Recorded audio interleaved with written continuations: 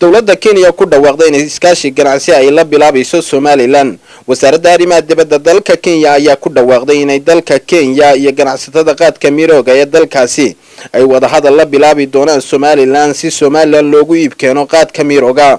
Wargeyska the daily nation ee ka soo baxa dalka kenya ayaa shalay toole daabacay in wasaaradda arrimaha dibadda ee dalka kenya ay ganacsatada qaadka ee kenya u fasaxday.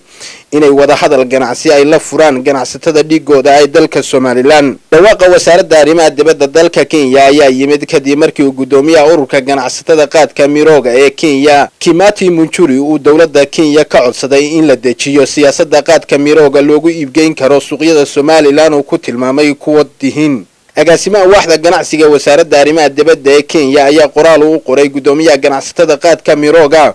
Waxa uu sheegay in fikirka ah in jaadka mirooga suuqyada somalilan la gaadhsiiyo tahay. Fikir la soo dhoweynayo maadaama uu xoojinayo iskaashiga ganacsiga laakiin mas'uulka wasaaradda arrimaha dibadda ka tirsan waxa uu waraaqdiisan ku yidhi waxaanu soo jeedinaynaa in muddada booqashadu socoto la soo xulo. Koox ka tirsan mas'uuliyiinta dowlad oo u dhug yeeshaa qorshe kasta oo fiiro gaara leh. Ururka ganacsatada qaadka mirooga ayaa dowladda kenya iyaguna ka dalbaday inay wadahadal la bilowdo somalilan islamarkaasina ay dowladda somalilan ka codsato. Inay laasho cashuur adag oo ay sheegeen inay somalilan ku soo rogtay qaadka mirooga waxayna sheegeen in farqii dhinaca cashuurta ay u dhexeeyo qaadka etoobiya iyo midka kenya ee somalilan gaadha.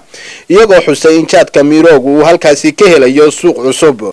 Cabdiraxmaan axmed ilsar wararka star t v